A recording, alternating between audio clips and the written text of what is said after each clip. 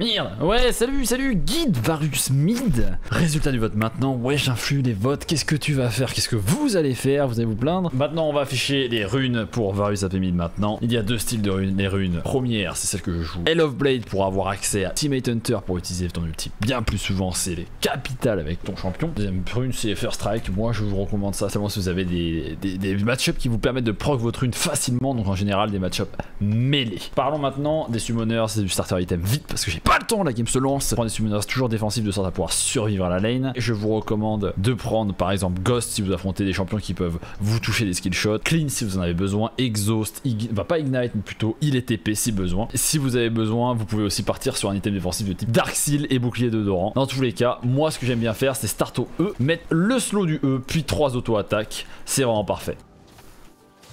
E avec Hell of Blade, on est content. Le but avec Varus AP Mid, c'est de pouvoir farm jusqu'à avoir 1, 2, 3 items. Plus vous avancez, plus vous one-shotez fort. Et pour drafter Varus AP Mid, le plus important, c'est de, bien entendu, avoir des champions avec des, HP en face. Ici, c'est très bien, Nocturne, c'est très bien. Le reste, c'est un peu moins bien, mais c'est la vie. Et pour les phases de trade en early game, quelques auto-attaques contre les mêlées, plus un E, c'est bien. Et contre les rangs, je t'ai oublié de mettre ton E en premier, puis quelques auto-attaques. On va attendre qu'il ait last celui-là. S'il veut pas le last on met auto, auto, E. Et boum, ça fait déjà un bon trade parce que vu que tu joues l'âme de Doran, tu es plutôt fort dans les trades à l'auto-attaque. Hell of Blade plus l'âme de Doran, c'est sûr que c'est une dinguerie. On farm tranquillement. On n'a pas posé de ward en early game pour l'instant, on va aller la poser maintenant. Cette ward elle est très utile dans la river mais pas trop proche, pas trop loin. Ce qui fait qu'on voit s'il veut me gank. Mais j'ai pas le temps d'aller la poser plus loin parce que faut pas faire cette erreur les potes. Quand vous êtes en solo queue, ça arrive beaucoup. Quand je regarde des replays, des choses comme ça de viewers, vous mettez une ward bien trop deep et vous perdez un melee ou un range d'XP et de gold. C'est pas bon du tout. Donc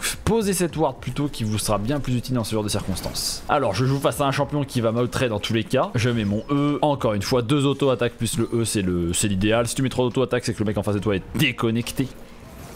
On peut proc le ghost. Ça me sert à rien le ghost dans cette lane. C'est juste un maximum c'est juste un maximum de poke dans ma lane. En fait, c'est plus un outil d'escape et de survie. Et ici, vous avez vu, le trade que j'ai pris était massif. J'aurais pu le solo kill à 10 HP près, près peut-être? Je vais push ma lane. Normalement, le jungle en face va juste courir, on est d'accord, voilà, c'est ça. Et on reset. Moi je max le Q.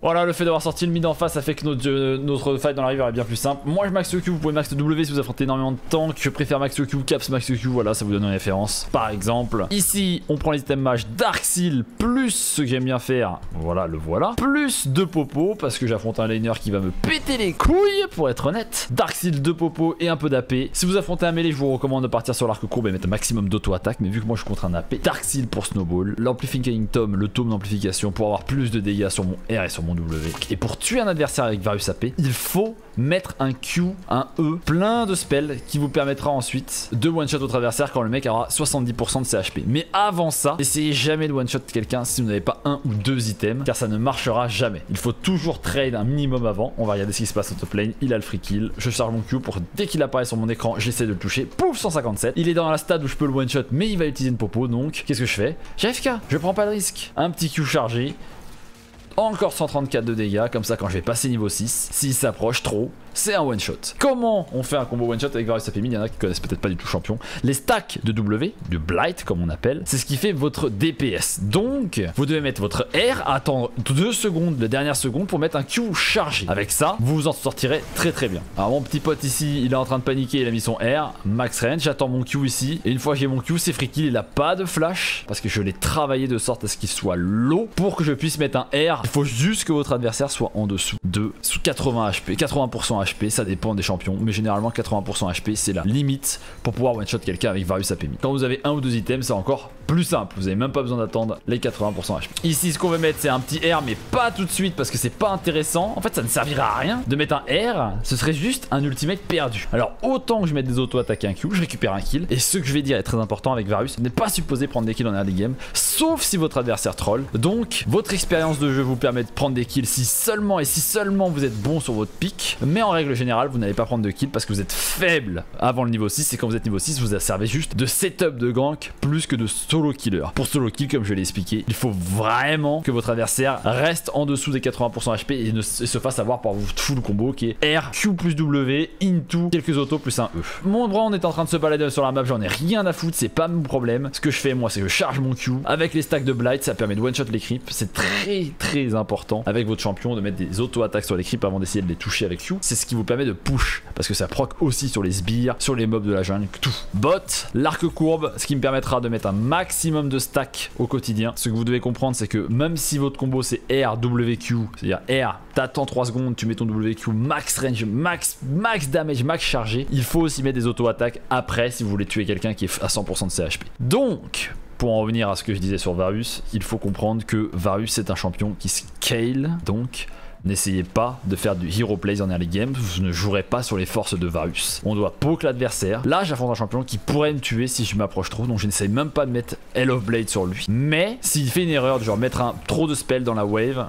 Pouf, on cherche à mettre une autre Q, regardez, on commence à le travailler. On a un level d'avance, ce n'est pas suffisant, ça ne sera jamais mid, je suis trop full vie, ce sera sûrement top. Les F-keys, si vous avez vu le guide sur les réglages, vous savez ce que c'est. Il a plus de spell, qu'est-ce que je fais? Je m'approche, j'essaie de mettre des Everblade, s'il veut pas mettre le Everblade, je mets un Q, hop, ça touche pas, c'est pas grave. Un Everblade, deux Everblade, un E. Pouf Ça fait le seuil de one shot. Donc maintenant, si je touche mon R, il est mort. On tente, on met le Q, le W. Le dernier, il manque juste un E, une auto, mais ça le tue pas. C'est un peu ça le seuil des HP qu'on veut avec Varus, c'est moins de 70%, 80% si vous êtes fed, mais c'est que quand vous avez des items. Ici, il est quand même mort, parce que comme je l'ai dit, Varus, avant d'avoir un, deux items, c'est surtout un setup de gank avant d'être un solo killer machine.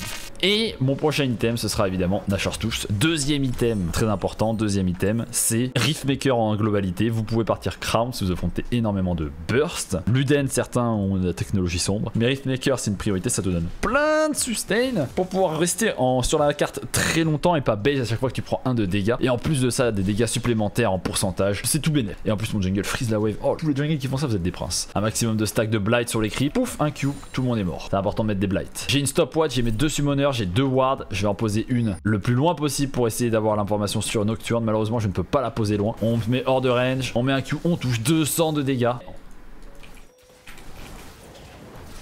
J'ai une stopwatch.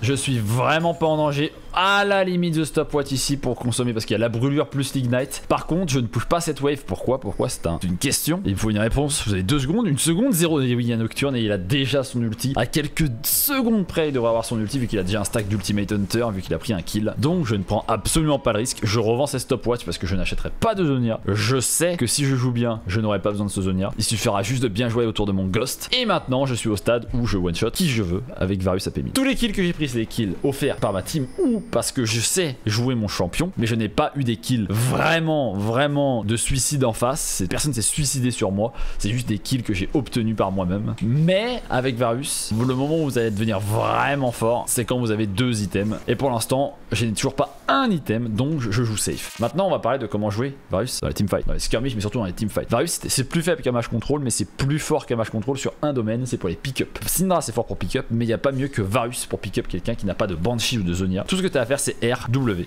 Q, et tu one-shot quelqu'un ou tu le mets à 10% HP, ce qui fait qu'il ne pourra pas jouer le teamfight. Donc, quand tu joues Varus, tu dois faire la différence très tôt dans le teamfight parce que sinon, tu vas être moins fort qu'une Syndra, qu'une Oriana, qu'un Azir. Comment faire la différence au début d'un teamfight? Tu t'appuies sur R et t'essaies de one-shot quelqu'un. Tout ce que j'attends maintenant, oh, bah le Docteur aussi, il a bien mangé à la cantine parce qu'il a un item ennemi, dont de la MR. C'est pour ça qu'après le Riftmaker, on part généralement sur Voice Staff. S'ils ont pas d'MR, rabadon. Et c'est comme ça que vous allez one-shot les adversaires. J'ai mon ultimate, j'attends mon Ikarim, je vais bait, et puis on va attendre. On met le Z, 3 stacks. Ouh, il a, la flash vers l'avant, ce qui a fait qu'il a dodge mon Q chargé, qui lui aurait enlevé 90% de sa vie. Mais dans tous les cas, je m'en sors bien. Vous avez vu à quel point c'est fort le setup de gang de Varus? Je peux théoriquement prendre cette tourelle, parce que la bot lane est bot. On a vu Nocturne top, et on a vu Clé top, et on sait qu'il a pas d'ulti. Toujours réfléchir dans League of Legends. Là, ça n'a rien à voir avec Varus, c'est juste de la réflexion, c'est un petit, bonus dans le guide. Maker deuxième, petite pink, petite blue trinket. Le problème avec Varus, c'est qu'aller en side lane, c'est quasiment impossible. Surtout face à Nocturne. Donc comment tu fais? Bah tu vas mid, et si ton ADC vient mid aussi, eh bien tu vas en side lane récupérer les waves sous tourelle, seulement sous tourelle. Cet ADC je l'ai turbo fumant 1v1 d'ailleurs je vous le dis mais pour le bien du guide on a dit on se tombe pas les adversaires les limites faut les connaître ici je peux ghost par contre là tu te fous de ma gueule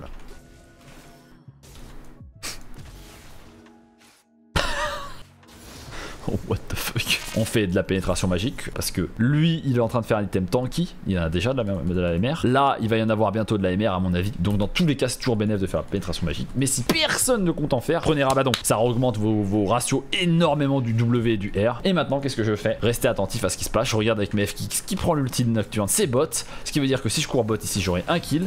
Ou alors j'interromps la transition. Je ne vais absolument pas prendre de risque. Je suis un hyper carry qui n'est pas hyper carry avec plein d'auto-attaques. C'est auto, auto, auto, Q ou alors un E. Par contre, ici, juste mettre des autos avant de mettre un R. Pas besoin de mettre le R, une auto, deux autos, trois autos, un Q. Pas besoin de le charger, il est one shot. Où que tu sois, quoi que tu sois, c'est à peu près ça la base de Varus. Tu dois juste mettre des R pour exploser la daronne de tout le monde et prendre l'avantage numérique dans les teamfights. Le guide est très simple parce que Varus AP mid, c'est unilatéral comme gameplay. Ça, ça va que dans un sens. C'est soit tu one shot quelqu'un, soit tu sers à rien. Et c'est pour ça que Varus, il faut bien farm, attendre ses spikes, prendre les kills gratuits et seulement quand tu arrives à un item, voire deux items, tu commences à one shot les gens avec un R et trois stacks de blind. J'espère que le guide vous a plu. C'était un champion assez atypique. Le guide est peut-être un peu différent et moins porté sur la macro et sur plein d'objectifs dans, la partie, mais seulement sur Varus AP mid. À la semaine prochaine pour un nouveau guide. Votez dans les commentaires pour savoir ce que sera. Ciao, bye.